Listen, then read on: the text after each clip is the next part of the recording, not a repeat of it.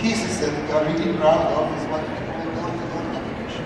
And door-to-door navigation is that the idea that as you leave from certain place going to your car, you already know where you want to go. Um, so we offer for you uh, the ability to have walking directions to your car. Uh, and the process of doing that, we offer you, of course, to find your car. If you're coming out of here and parking your car far away, so the, the, the application that we run on our, our uh, the application that we run uh, on the mobile phone will give you walking direction, will find your car as you get inside the car and you start driving, uh, the destination is already there for you. You drive, and then as you get out of the car, uh, parking somewhere else, we give you other walking directions uh, to find your destination. So the experience now stands outside the car, inside the car, and outside the car again. Whether we have an electric vehicle or not, that's extremely helpful for us.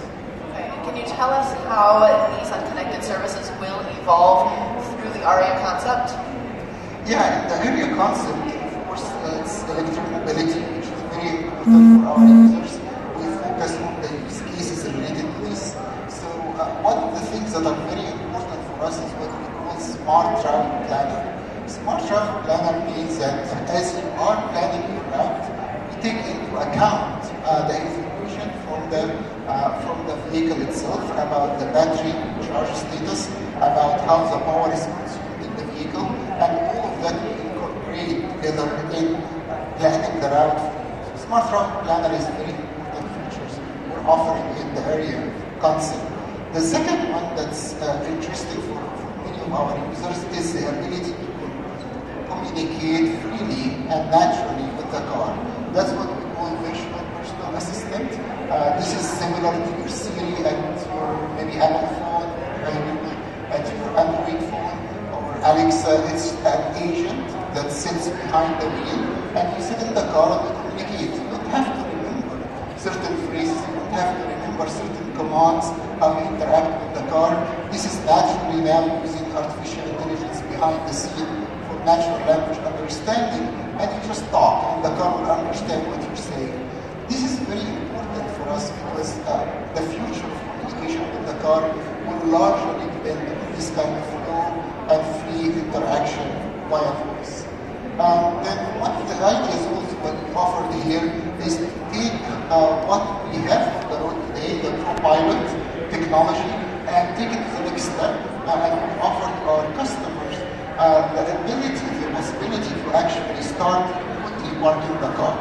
So as you are standing outside the car, you can actually pull the car and let it park using ProPilot technology. So these are a few of the things that we're actually offering in the Ariya concept.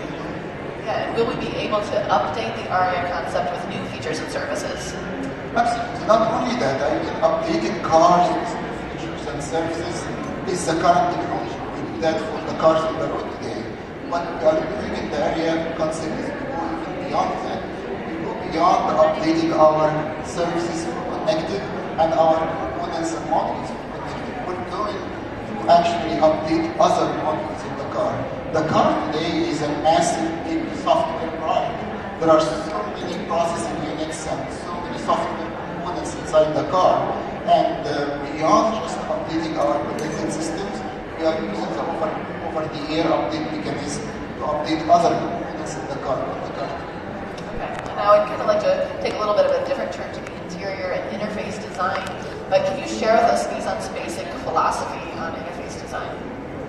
Yeah, one of the basic philosophies that we have for interface design is that uh, customer outside the car and inside the car is the same customer. So we design the components that the customer hold in their hands uh, outside the car be seamlessly integrated the components and the user interface inside the car.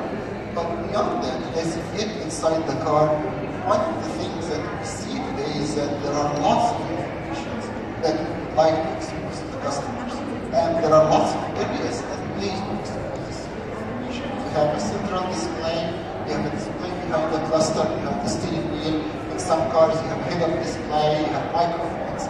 But there are different ways. And what we are doing is using intelligence to decide what kind of information we display, when to display displayed, and where exactly to display it. Because at the end of the day, today, if we display lots of user cannot consume that, it doesn't help.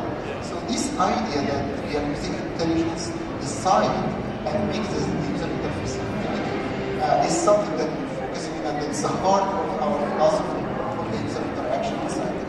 Sure, and it's right here in the Ariya concept. I mean, the cockpit is characterized by its seamless, flowing. Um, it's all integrated. There are two 12.3 inch screens, correct? Just seamlessly integrated into that front dash. It's absolutely gorgeous. It is gorgeous, and, and this is basically one of the things that we added on top of the philosophy, making the user interface uh, usable, seamless, intuitive.